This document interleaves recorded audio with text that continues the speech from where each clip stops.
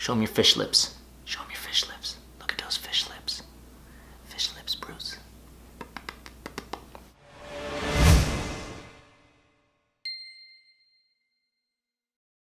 It's Max Major, and this is episode 200 of the vlog. I cannot believe it. You know, I was thinking back over the last 100 episodes, and it has literally flown by. I didn't even see this coming. The first 100 episodes really felt like work. It was like a grind to get to 100. But 100 to 200 have been an absolute blur. It has been an incredibly exciting ride, and I've been having so much fun. It being episode 200, I thought there was no better way to spend my day than answering your questions. So it's time for Major Questions.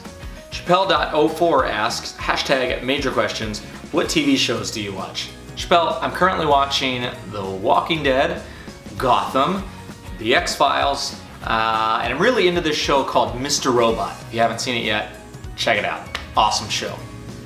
Ashley Federley asks, what book have you read that has made the biggest impact in your life and has helped you grow as a person slash artist? Hashtag major questions. Uh, Ashley, I'm gonna take this as a two-parter. The book that has affected me the most as an artist is probably the book Steal Like an Artist by Austin Kleon. Um, close second to that would be The Artist Way. Um, two awesome books to check out for creativity and inspiration and just sort of a general philosophy as an artist. The book that has affected me the most personally is probably Wherever You Go, There You Are by Jon Kabat-Zinn. It's a book I've recommended numerous times on the blog. Jay Davis asks, why the sunglasses on the plane? Jay, I get headaches when I fly. For some reason, sunglasses seem to help. Mario Orsini asks, how important is grammar in a relationship?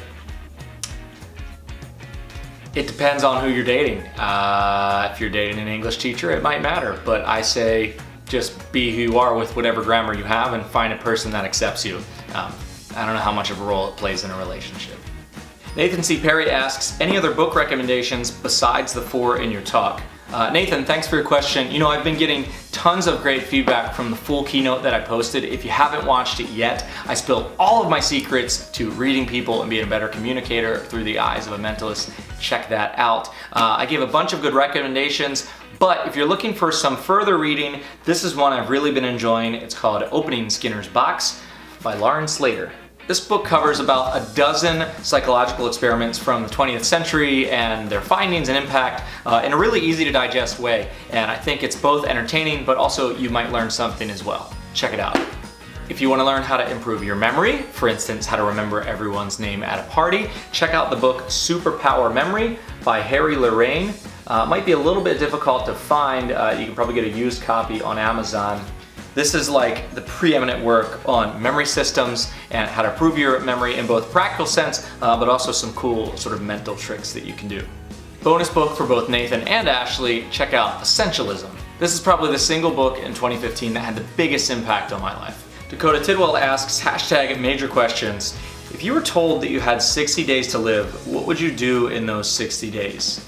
Dakota, that's a really interesting question. You know, when I first read this, my instant reaction was I would do exactly what I'm doing now. I wouldn't change a thing because I'm doing exactly what I want to do with my life. But if I were really honest with myself, if I had only two months left to live, I would probably spend a little bit more time with family and friends. You know, when you get into the grind, you kind of take it for granted that you'll see them later. And this question is making me realize that perhaps I need a slight shift in the balance of my life. So Dakota, thanks for asking. Question coming in from the YouTube comments. That's kind of exciting to see. Generally, all my questions coming from Facebook, Instagram, Twitter. Anywho, Celte asks, hashtag major questions, have you found that the time of day plays a part in the response of the crowd? You mentioned it here in today's blog, but has it happened before and you saw the same result? You know, there are so many things that play a role in the psychology of an audience. It's what else were they doing that day? How tired are they? How many sessions have they sat through? Uh, how funny or unfunny is the MC and the person introducing you? Uh, but ultimately, it's your job once you're on stage to capture their attention and bring up the energy in the room.